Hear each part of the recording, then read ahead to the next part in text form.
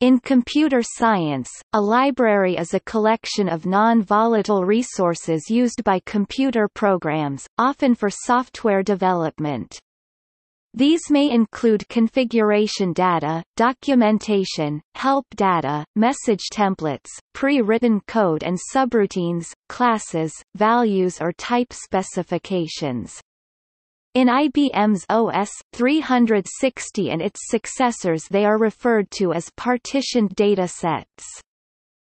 A library is also a collection of implementations of behavior, written in terms of a language, that has a well-defined interface by which the behavior is invoked. For instance, people who want to write a higher-level program can use a library to make system calls instead of implementing those system calls over and over again. In addition, the behavior is provided for reuse by multiple independent programs. A program invokes the library-provided behavior via a mechanism of the language.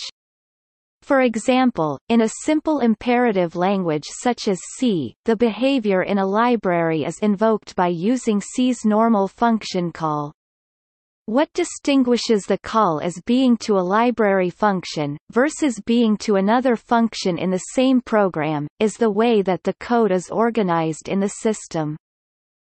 Library code is organized in such a way that it can be used by multiple programs that have no connection to each other, while code that is part of a program is organized to be used only within that one program. This distinction can gain a hierarchical notion when a program grows large, such as a multi-million line program.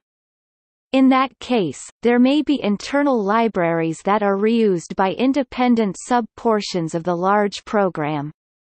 The distinguishing feature is that a library is organized for the purposes of being reused by independent programs or sub-programs, and the user only needs to know the interface and not the internal details of the library.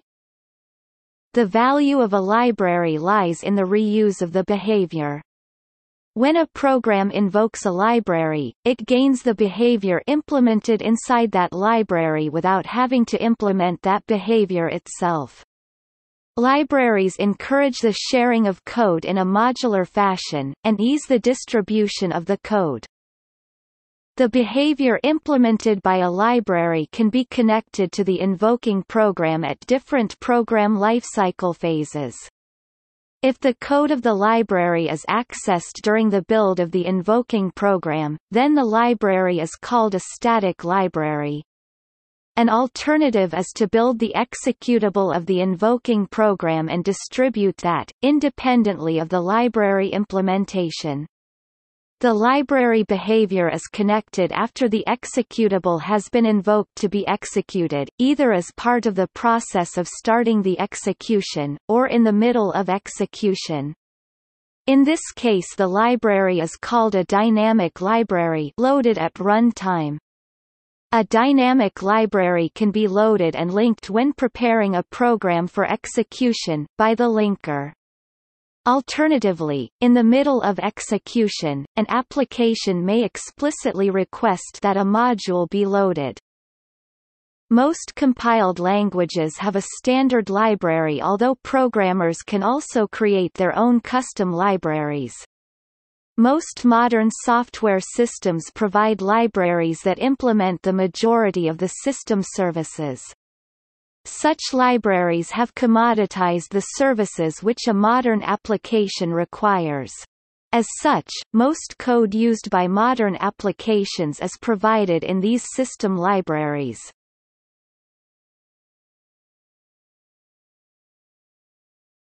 Topic: History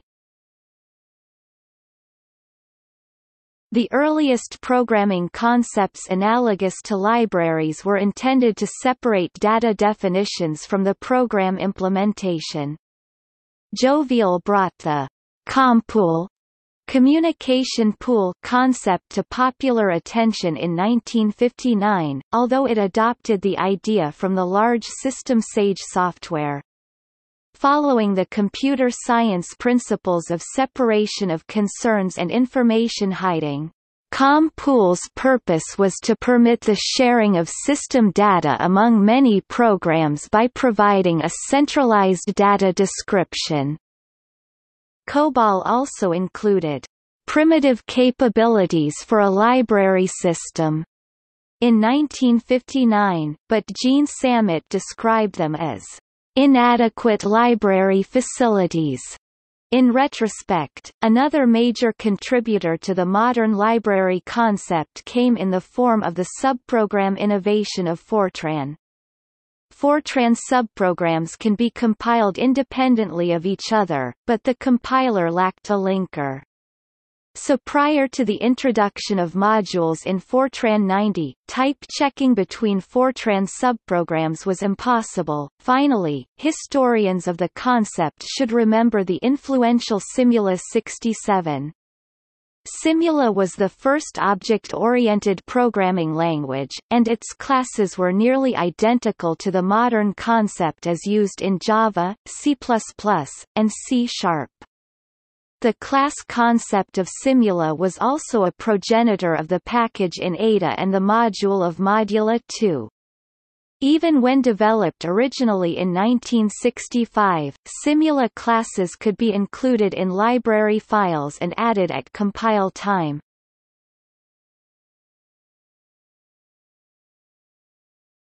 Topic: Linking Libraries are important in the program linking or binding process, which resolves references known as links or symbols to library modules. The linking process is usually automatically done by a linker or binder program that searches a set of libraries and other modules in a given order. Usually it is not considered an error if a link target can be found multiple times in a given set of libraries. Linking may be done when an executable file is created, or whenever the program is used at runtime. The references being resolved may be addresses for jumps and other routine calls. They may be in the main program, or in one module depending upon another. They are resolved into fixed or relocatable addresses from a common base by allocating runtime memory for the memory segments of each module referenced. Some programming languages may use a feature called smart linking whereby the linker is aware of or integrated with the compiler, such that the linker knows how external references are used, and code in a library that is never actually used, even though internally referenced, can be discarded from the compiled application. For example, a program that only uses integers for arithmetic, or does no arithmetic operations at all, can exclude floating-point library routines. This smart linking feature can lead to smaller application file sizes and reduced memory usage.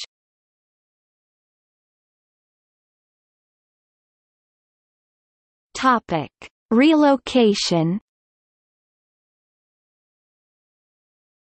Some references in a program or library module are stored in a relative or symbolic form which cannot be resolved until all code and libraries are assigned final static addresses. Relocation is the process of adjusting these references, and is done either by the linker or the loader. In general, relocation cannot be done to individual libraries themselves because the addresses in memory may vary depending on the program using them and other libraries they are combined with. Position-independent code avoids references to absolute addresses and therefore does not require relocation.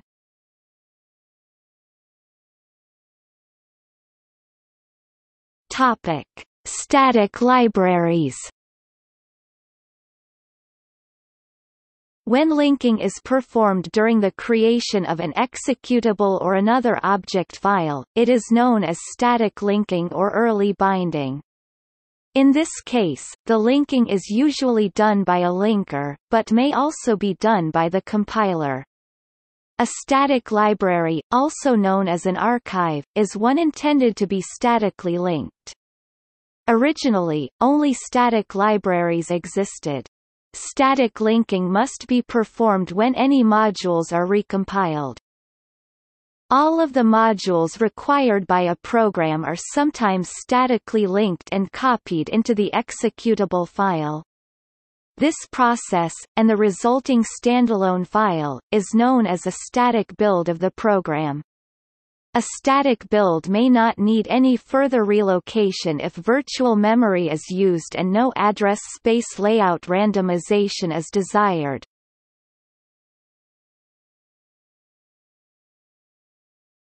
Topic: Shared libraries.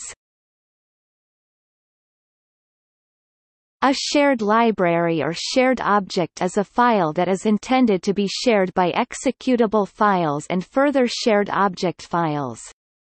Modules used by a program are loaded from individual shared objects into memory at load time or run time, rather than being copied by a linker when it creates a single monolithic executable file for the program. Shared libraries can be statically linked, meaning that references to the library modules are resolved and the modules are allocated memory when the executable file is created but often linking of shared libraries is postponed until they are loaded. Most modern operating systems can have shared library files of the same format as the executable files. This offers two main advantages. First, it requires making only one loader for both of them, rather than two having the single loader is considered well worth its added complexity. Secondly, it allows the executables also to be used as shared libraries, if they have a symbol table. Typical combined executable and shared library formats are ELF and Mach-O both in Unix and PE Windows. In some older environments such as 16-bit Windows or MPE for the HP 3000 only stack-based data local was allowed in shared library code, or other significant restrictions were placed on shared library code.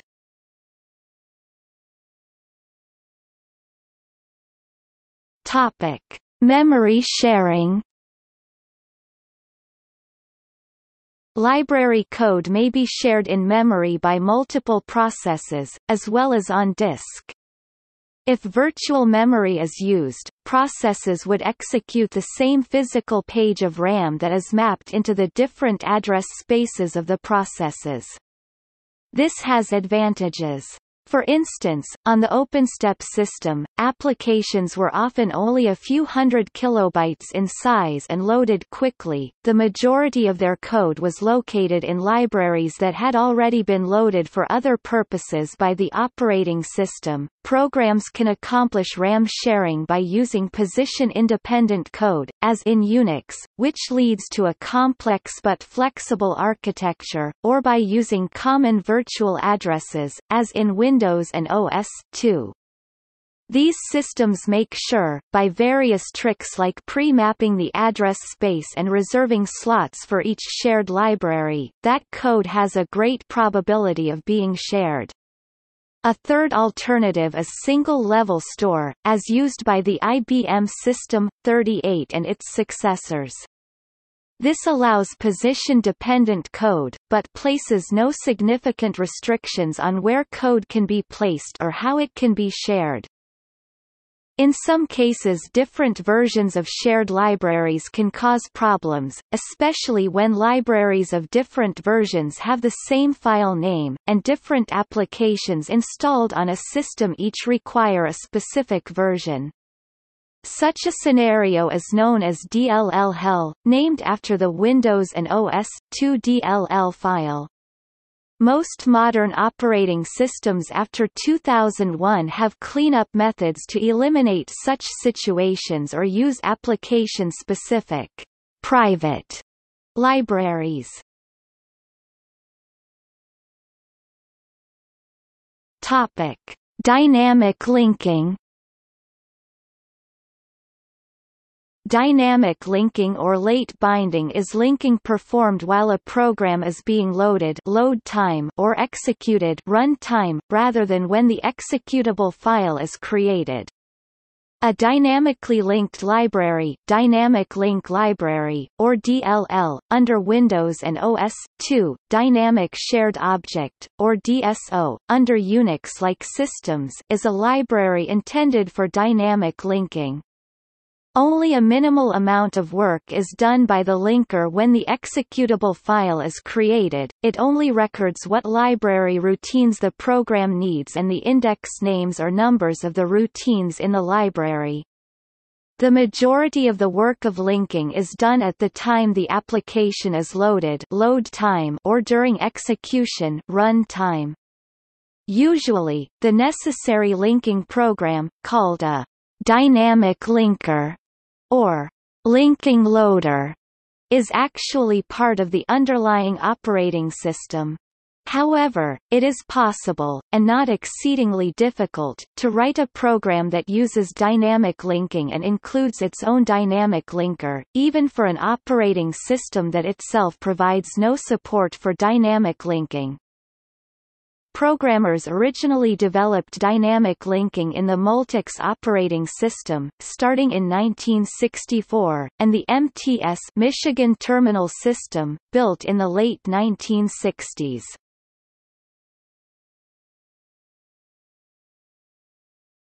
Topic: Optimizations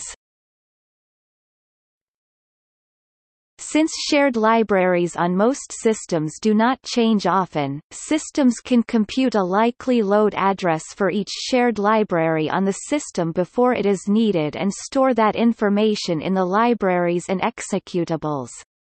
If every shared library that is loaded has undergone this process, then each will load at its predetermined address, which speeds up the process of dynamic linking. This optimization is known as prebinding in macOS and prelinking in Linux. Disadvantages of this technique include the time required to precompute these addresses every time the shared libraries change, the inability to use address space layout randomization, and the requirement of sufficient virtual address space for use a problem that will be alleviated by the adoption of 64-bit architectures, at least for the time being.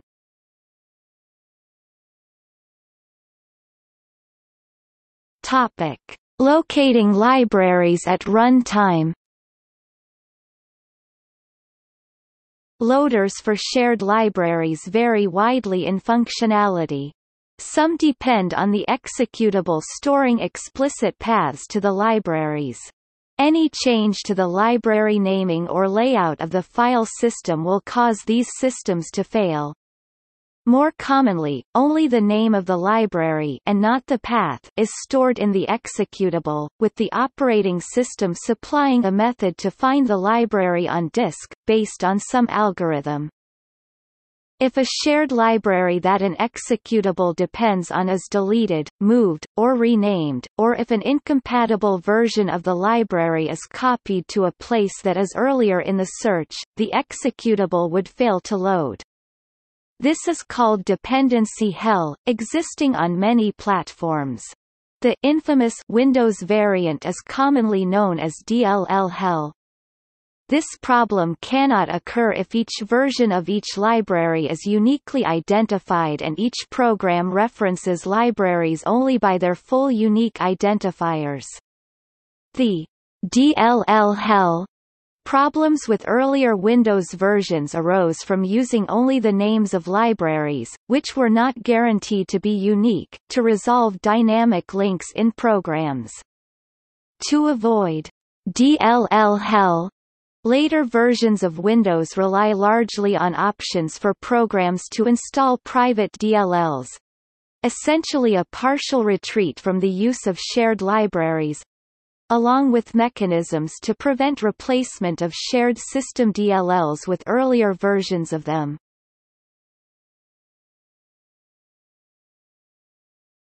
Topic: Microsoft Windows Microsoft Windows checks the registry to determine the proper place to load DLLs that implement COM objects, but for other DLLs it will check the directories in a defined order. First, Windows checks the directory where it loaded the program private DLL, any directories set by calling the SetDllDirectory function, the system32, system, and Windows directories, then the current working directory, and finally the directories specified by the path environment variable. Applications written for the .NET Framework framework since 2002 also check the global assembly cache as the primary store of shared DLL files to remove the issue of DLL hell.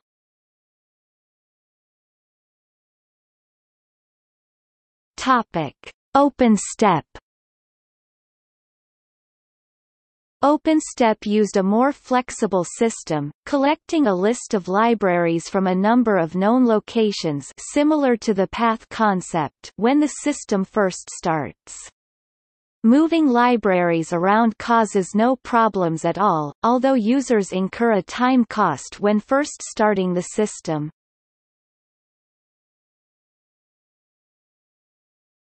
Topic: Unix-like systems Most Unix-like systems have a search path specifying file system directories in which to look for dynamic libraries. Some systems specify the default path in a configuration file, others hard-code it into the dynamic loader. Some executable file formats can specify additional directories in which to search for libraries for a particular program. This can usually be overridden with an environment variable, although it is disabled for setuid and setgid programs, so that a user can't force such a program to run arbitrary code with root permissions. Developers of libraries are encouraged to place their dynamic libraries in places in the default search path.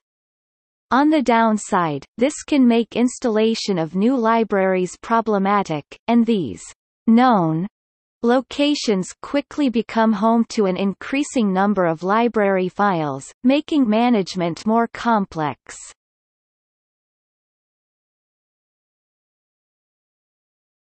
Topic: Dynamic loading.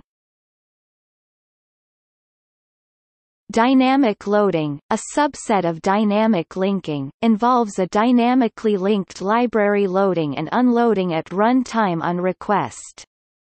Such a request may be made implicitly at compile time or explicitly at run time.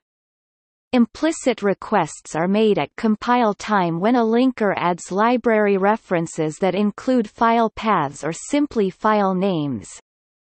Explicit requests are made when applications make direct calls to an operating system's API at runtime. Most operating systems that support dynamically linked libraries also support dynamically loading such libraries via a runtime linker API. For instance, Microsoft Windows uses the API functions LoadLibrary, LoadLibraryEx, FreeLibrary and GetProcAddress with Microsoft Dynamic Link libraries. POSIX-based systems, including most Unix and Unix-like systems, use DLopen, dlclose and DLSYM. Some development systems automate this process.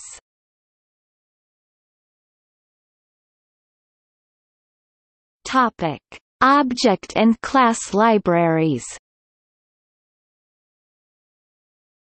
Although originally pioneered in the 1960s, dynamic linking did not reach operating systems used by consumers until the late 1980s. It was generally available in some form in most operating systems by the early 1990s. During this same period, object-oriented programming OOP was becoming a significant part of the programming landscape. OOP with runtime binding requires additional information that traditional libraries don't supply. In addition to the names and entry points of the code located within, they also require a list of the objects they depend on. This is a side effect of one of OOP's main advantages, inheritance, which means that parts of the complete definition of any method may be in different places. This is more than simply listing that one library requires the services of another. In a true OOP system, the libraries themselves may not be known at compile time, and vary from system to system. At the same time many developers worked on the idea of multi-tier programs, in which a display running on a desktop computer would use the services of a mainframe or minicomputer for data storage or processing. For instance, a program on a GUI-based computer would send messages to a minicomputer to return small samples of a huge dataset for display. Remote Procedure Calls RPC already handled these tasks, but there was no standard RPC system. Soon the majority of the minicomputer and mainframe vendors instigated projects to combine the two, producing an OOP library format that could be used anywhere. Such systems were known as object libraries, or distributed objects, if they supported remote access not all did. Microsoft's COM is an example of such a system for local use, DCOM a modified version that supports remote access. For some time object libraries held the status of the next big thing in the programming world. There were a number of efforts to create systems that would run across platforms, and companies competed to try to get developers locked into their own system.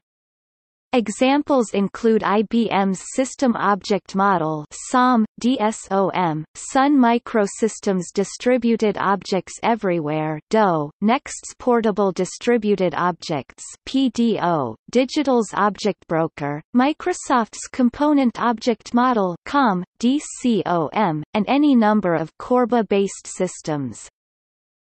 After the inevitable cooling of marketing hype, object libraries continue to be used in both object-oriented programming and distributed information systems. Class libraries are the rough OOP equivalent of older types of code libraries. They contain classes, which describe characteristics and define actions methods that involve objects. Class libraries are used to create instances, or objects with their characteristics set to specific values. In some OOP languages, like Java, the distinction is clear, with the classes often contained in library files like Java's jar file format and the instantiated objects residing only in memory although potentially able to be made persistent in separate files. In others, like Smalltalk, the class libraries are merely the starting point for a system image that includes the entire state of the environment, classes and all instantiated objects.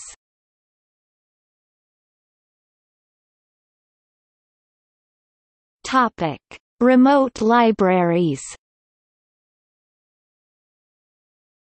Another solution to the library issue comes from using completely separate executables often in some lightweight form and calling them using a remote procedure call RPC over a network to another computer.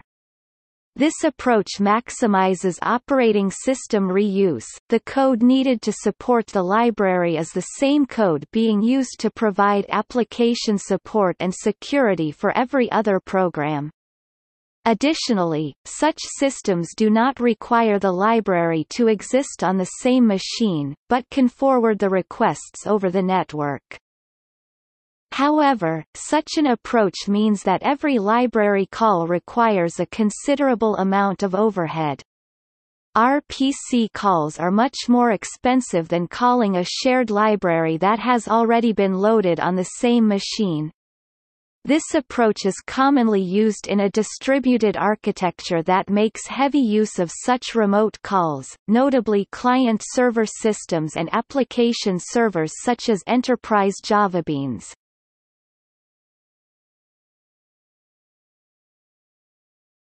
Topic: Code generation libraries.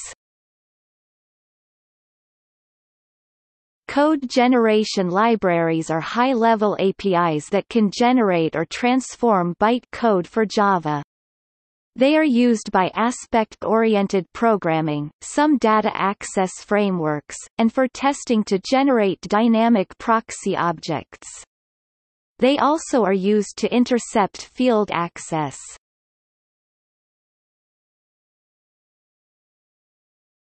Topic: File naming.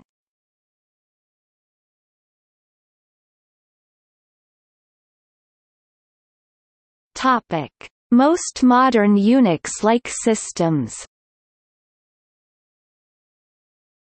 The system stores libfoo, a and libfoo.so files in directories such as lib, usr, lib or usr, local, lib. The file names always start with lib, and end with a suffix of a archive, static library or of so shared object, dynamically linked library. Some systems might have multiple names for the dynamically linked library, with most of the names being names for symbolic links to the remaining name. Those names might include the major version of the library, or the full version number. For example, on some systems libfoo.so.2 would be the filename for the second major interface revision of the dynamically linked library libfoo.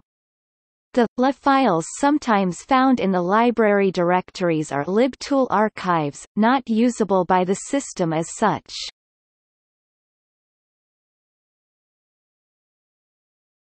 Topic: Mac OS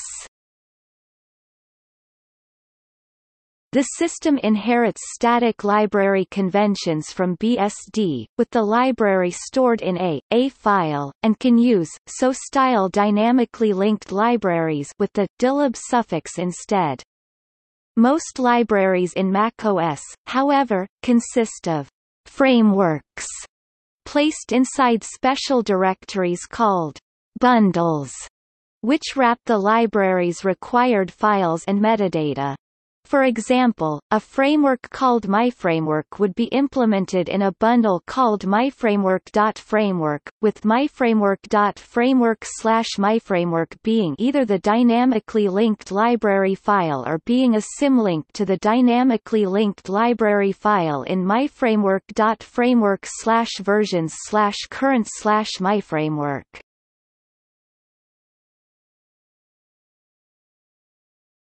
Topic Microsoft Windows Dynamic link libraries usually have the suffix asterisk, DLL, although other file name extensions may identify specific purpose dynamically linked libraries, e.g. OCX for OLE libraries. The interface revisions are either encoded in the file names, or abstracted away using COM object interfaces. Depending on how they are compiled, asterisk, lib files can be either static libraries or representations of dynamically linkable libraries needed only during compilation, known as import libraries. Unlike in the Unix world, which uses different file extensions, when linking against lib file in Windows one must first know if it is a regular static library or an import library. In the latter case, a DLL file must be present at runtime.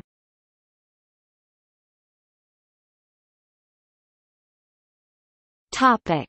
See also